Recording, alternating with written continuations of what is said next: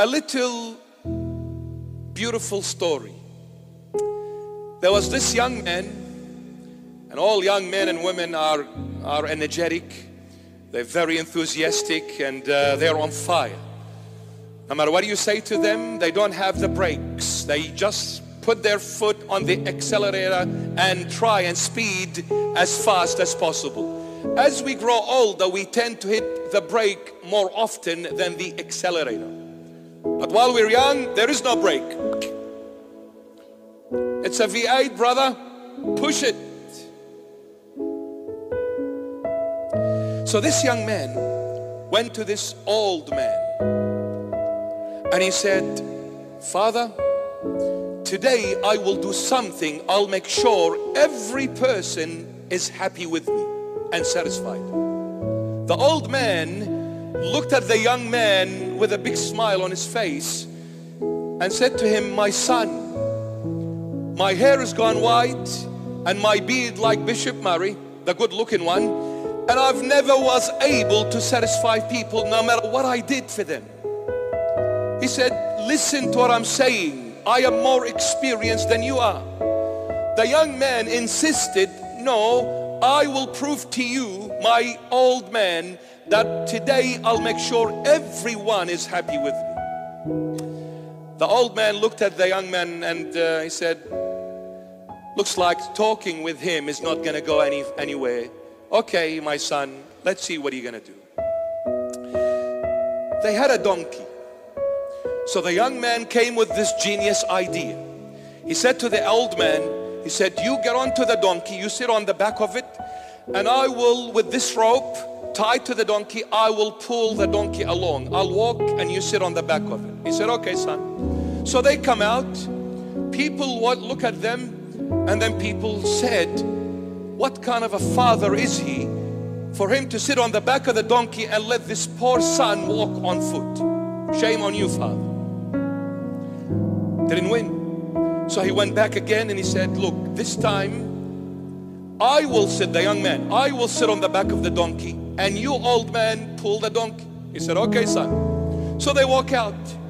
People look and they say, There you go.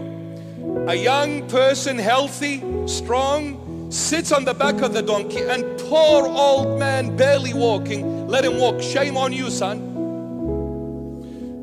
didn't win so he goes back again and he said okay this time both of us will sit on the back of the donkey and we'll ride the donkey together he said okay son so they sit both of them on the back of the donkey and they go out people look and they say poor old donkey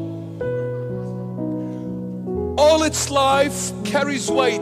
Shame on both of you to sit and break the back of this donkey. You have no mercy. The young man goes back to the old man and he said, This time I got it. Both of us will walk and pull the donkey.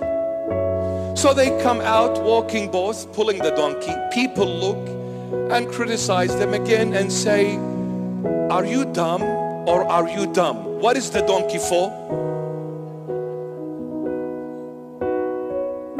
You leave the donkey and you both walk? No brain. A young man gave up.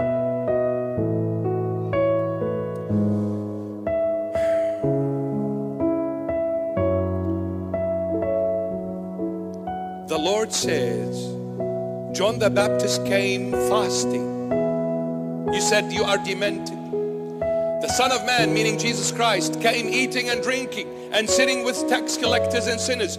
You said, How dare you eat and drink and sit with sinners and tax collectors? The Lord said, Okay, then what else satisfies you?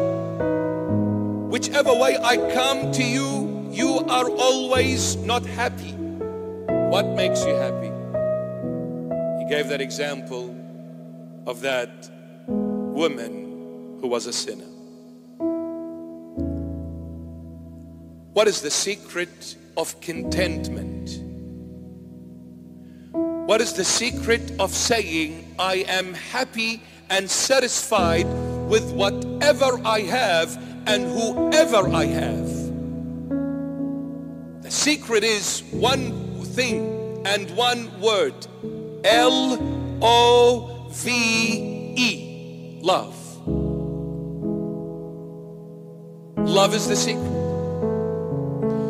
And this is why the Lord turned to Simon the Pharisee and said, this woman loved too much. That's why her great sins were forgiven because the more she loves, the more she is forgiven.